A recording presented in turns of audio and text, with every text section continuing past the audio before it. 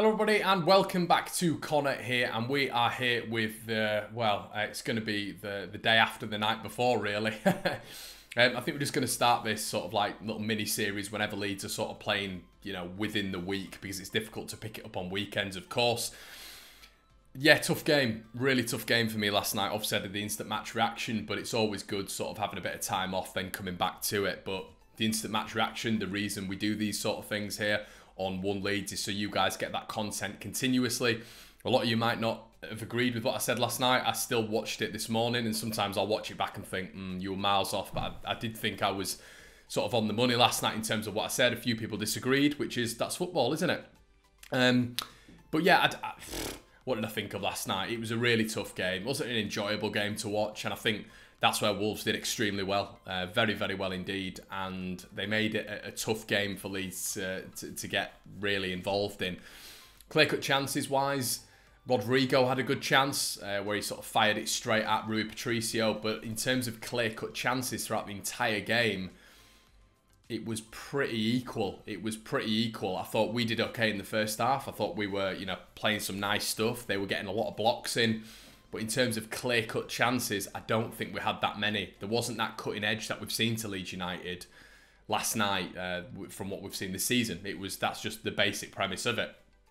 Now, with regards to Wolves, I thought uh, the end of the half, the end of the first half, a lot of people were turning around saying we battered them, we did this, we did that. But I thought Wolves would have gone in the happier team, which a lot of you might think is quite controversial. The reason behind that is because that's Wolves' game. They're a counter-attacking side. They defend in low blocks and they spring on the counter-attack. The fact that they didn't play well, they're slow starters. We all know that with Wolves. I think the percentage of, of their goals that come in the second half is astronomical in comparison to the first. So we all know the slow starters, and that normally is where they embed someone like Adama Traore in the second half. So in terms of that, it, it did play into Wolves' strategy really well. They were just sitting back, defending well in the low block. Leeds were the dominant team by far, and um, backed up by possession and, and, shots, not shots on target, but just in general shots. I think we had 10 in the first half. But the reason I mention off target is because naturally we didn't create and fashion that many chances on target, and we didn't see Rui Patricio make really any saves during the entire match. So, was it a good a good performance from Leeds? I think it was. I don't think it was our best at all. I'd probably still say, and a lot of you will turn around and say no chance for this, but I think it was our worst performance of the season.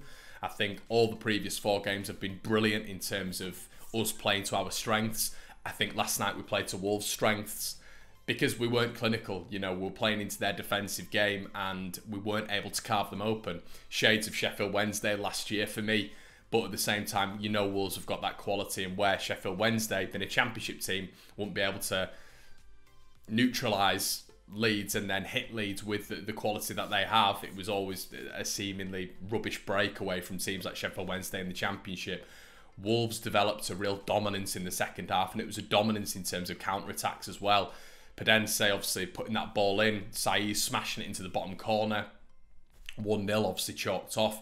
The brilliant save from Meslier just before half time with excellent save um, from Meslier on Podence again, and then obviously we had the uh, we had the Jimenez goal, didn't we? Which was a real unfortunate one to, to, to concede, and, and they just looked quite dangerous. I think Podence had a, had a good chance as well on the edge of the D, which was brilliantly saved by Meslier again. So they did fashion quite a few chances, did Wolves, in comparison to Leeds for me in that midfield area because we press so many bodies going forward. Leeds naturally always do because we always have one extra man in the offensive outlet. Defensively, in the midfield as well, as I've said throughout this season so far, we do look exposed when teams come forward. And if teams are able to hit us with that quality, then they're going to hurt us. But I thought we were okay last night. I think, you know, you, you take it into account and Wolverhampton Wanderers finished seventh twice they got knocked out of the quarterfinals of the Europa League by Sevilla, the eventual winners last year. So they're a brilliant side, and when you bring in players like Ruben Neves, Adama Traore off the bench, you know that you've got a, a, squad with depth. And let's let's be right, we're talking about Wolves being Leeds' blueprint for years to come. You know, getting into that position where we can challenge. So it's not a bad result at all. It really isn't. I didn't expect it. I said 3 1, a tight 3 1. I thought we would be getting, I thought it would be 2 1 up and be getting mauled by Wolves, and then we might spring a counter attack and get a third. That's how I envisaged it. couldn't have been more wrong. It was just the amount of blocks they were getting in, the amount of blocks, and and you know we saw the chance where Raphinha zipped the ball across and Pablo hit it, and it was blocked again, block after block after block after block. They were just, and as I said last night, it seemed like they had 15 players in defence every single time. I thought Leeds were quite slow in the transitions last night. There was maybe four or five touches where there could have been one or two. I didn't think Ayling had a good game. I didn't think Kalvin had a good game. And when you take those two players out of Leeds, as in when they don't have a good game, it affects Leeds across the board. Good game wise, I thought Meslier played really well. I thought his distribution was good. I thought he made some key saves, especially that one at the end of the first half. I thought Robin was superb again. Just we don't miss Ben White, do we? At all. Robin is just fantastic, and we got him for a third of the price. I thought Struijk played really well as well. The only disappointing thing for me was that the goal where he sort of slipped and then he stood up, Jimenez, and he lunged, and Jimenez just took the ball around him. Uh, you know, that wasn't ideal. But on the Patreon, we'll be going through the player ratings and we'll be going on three things that we learned from last night. So if you want to check the Patreon out, please go do so. There's going to be more content out today. But yeah, it's it's not to get down about. Wolves are a top side. They're a top top side in the same bracket as Tottenham and Everton for me in terms of quality of opponent, if not better. I think they'll do well this year. It's Wolves' best start since 1979 as well. I know we all were talking about West Ham 4 0, City 3 1 against Wolves. But aside from that, they've been sort of freak results, really. You know, three wins out of five. They've started the campaign really well. So I think we go on to Villa, and, and Villa's going to be, you know, we're, we're hearing Gabby Agbonlahor, we're hearing, you know, all this sort of stuff, um, winding Leeds fans up already, you know, saying that Bielsa's a myth, which is, wow, I mean, what a thing to come out with. We'll get into Gabby Agbonlahor in some future videos, but let's hope they win, eh? Villa coming out with all these comments, and little old Leeds going to be going there and getting battered by AC Milan, sounds like. Um, let's bear in mind that Leicester had three of the best players out, as did Liverpool. but we'll get into that um, obviously next. Uh, well, at the end of the at the end of the week, we've got some great guests coming on, and your Villa tactical breakdowns will be will be coming out at, well very soon, really, because it's a Friday turnaround, isn't it? And the fact that we're going into Villa and, and we need a win, as in we don't need a win, but we you know we've lost the game. You know we react very well to defeats normally. So, you know, we'll be going into that game and, and, and, and I think we'll do well against Villa. I think we'll do well. And it's going to be a tough game, but it's going to be interesting to see how they deal with us. Let's let's be right. They've not they've not beaten us under Dean Smith. So let's wait and see with that one. So yeah, it's um, fair play to Wolves. I thought Wolves did well last night. I still stick to what I said last night. I thought they shaded it in that second half. I thought in their first half we played to their game as well. They're very good defensively, whereas the second half they were defensively good and they came on offensively as well. And and as, as I said at the start, we, we had we had what one two shot on, shots on goal. Didn't really trouble Rui Patricio at all, really. So I think we played into their game. They're defensively very good. We, uh, we dominated the first half in terms of possession, but I don't know if we dominated in terms of just battered them because we didn't do much. We didn't create much for me. You know, we had the penalty appeal. But yeah, we didn't really do much. And that's Wolves' game. They'll just sit back and soak up and soak up. And then the second half, they actually asserted a dominance, which they don't normally do, Wolves. Wolves normally just sit back and hit on the counter attack. But they actually asserted dominance in that first 30 minutes of the second half and really were out, for me, outplaying us. So yeah, I think they shaded it a little bit. A draw would have been a fair result, but yeah, I mean, 1 0, I'm, I'm not going to complain about. I'm gutted we've lost. I hate losing. But we're still 10th, you know. you got to measure expectations. You'd be buzzing at this at this result at the start of, uh, of the season. You know, in terms of the progression we've made, the results we've had, where we are in the league table, you'd be buzzing.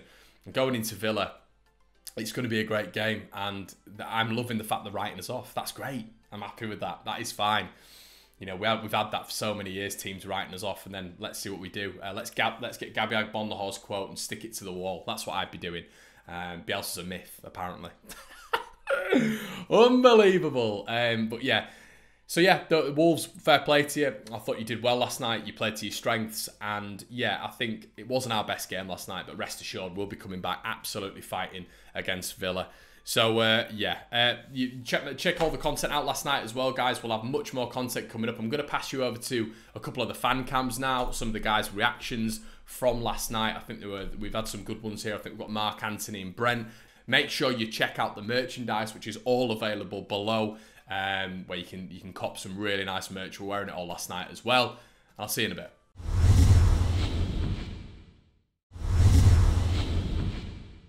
Um, you know, were we at the races today? Look, I think we looked okay in parts. First half was fantastic, obviously. The second half, not so much, but Wolverhampton Wanderers, I mean, you know, where was where, where was this great Portuguese side with this great tactical manager that's done so well for the past two years in the Premier League? You know, ten men behind the ball against little old Leeds. Um, you know, I mean, not not that any of their supporters are going to care less about me whinging about that. They've got the three points, fair play, but you know, I, I, was just watching the game, you know, really looking forward to this game, you know, um, with two, you know, supposedly very good managers, two very good teams. And, um, it was like us versus Luton last year, you know, it was absolutely ridiculous. Um, but look, it's up to us to break it down and we just couldn't break it down today.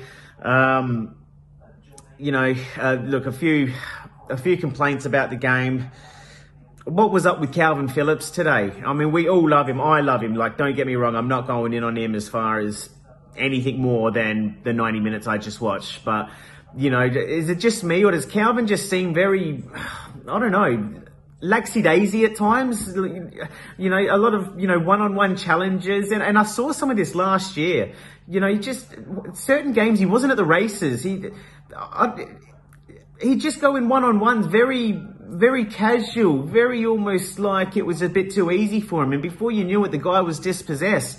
You know, really, and I'm not even talking about the goal that um, that we conceded. You know, I mean, it happened. You know, last minute reaction. You try to head head head the ball away, and, and, and it happened. But he just seemed slow, second to the ball, almost like he couldn't be bothered, you know. And I'm, I'm, not saying that was his attitude, you know, it wouldn't have been, but just, you know, really disappointing. And hopefully he can back it up next game. Um, most of the time he has, so I'll back him to do it again. Um, you know, I, I, liked our substitutions, even though they might have been a little bit too late. I, I would have liked to have seen um, Paddy maybe come off.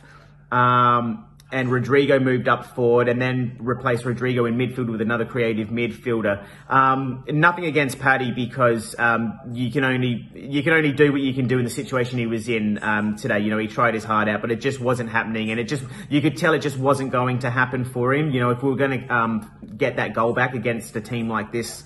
Um, it was going to be through a bit of midfield creativity, you know, a Pablo. Um, and, um, you know, I, I would have liked to have seen that move. Um, just quickly, um, yeah, Raphinha looked really good, really dynamic when he came on. Um, it's easier to do that though when you're against um, when you're against a team that's been out there 90 minutes and you're coming on for the last 10. Um, but really looking forward to seeing what uh, what he can do. Um, uh, Robin Koch was absolutely unbelievable again. I, cannot believe how he is coming on. Um, you know, uh, so long may that continue. And um, you know, look, uh, there's I could I could keep going, but obviously we'll um, we'll, we'll, we'll, we'll cut it off. And uh, look, uh, let's just let, let's just look to Villa now. Let's put this one behind us. Second loss for the season, frustrating, but it happens. Let's look to Villa. Let's look to get more points on the board, and uh, and we'll kick on from there. All right, cheers, guys. Speak soon.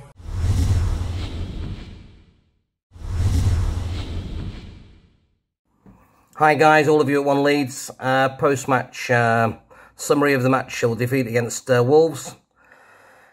Not suicidal, always upsetting when we lose. We always have to, you know, to step back to go forward again, but that's exactly what Leeds United need to do. We need to learn lessons from defeat as well as victory. And, you know, we have the uh, the right setup with Marcelo Bielsa and the coaching staff and the ethos of the players to, to, to, to be able to do that. I think the best tonic we can have is playing Villa at the end of the week very quickly, get it out of our system. But we also need to learn from those things. Rather than just getting out the system, we need to learn. The match last night, had we have taken the lead in the first half with a couple of chances we had, I think we have a different game on our hands altogether. But in the same time, I have to give credit to Wolves. They're an intelligent, very smart outfit, well-marshalled, great coach. Players like Coady and the team and all the rest of them we could, we could go on all night talking about. But they did very well and they took the wind out of ourselves in the first half by the fact we never scored and in the second half they started putting their foot on the ball and starting um, started to boss a little bit more. But um, we thought we'd ridden the storm when VAR jumped in and disallowed their goal, and we thought we'd got through that. Um, and I would like to have seen the changes, substitutes a little bit earlier than we actually saw them. But, um, you know, am I going to tell Marcelo Bielsa how to run, run, a football team? No, I'm not. But um, I think you know it was. It's always sad to see Coops when he's not able to. I always thought it was too premature to bring him back, and I'm not surprised he was uh, he was injured before kick-off. But I think certainly we, in Struijk and uh, Koch at the back, we were certainly well marshalled and well covered there. Uh, they're actually a class act. Kalvin Phillips looks absolutely shattered. He's got footballitis. He's certainly got a case of brain fog. Um, he just wasn't with the races last night at all, and uh, it, it's it's sad to see a player like that, especially Kalvin.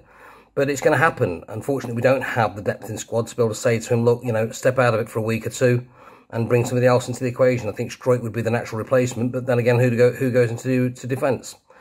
But look, we will learn lessons from this, and uh, we don't have to be suicidal about it. It is part of the process. Wolves, it's taken them 40 years to have such a good start, and uh, I'm not advocating that we're going to take as long to do that. I think the start we've had is certainly well balanced, and I think uh, Villa will be another step in the right direction. So keep smiling, because you know what? We'll always march on together. Cheers, guys. Ta-da.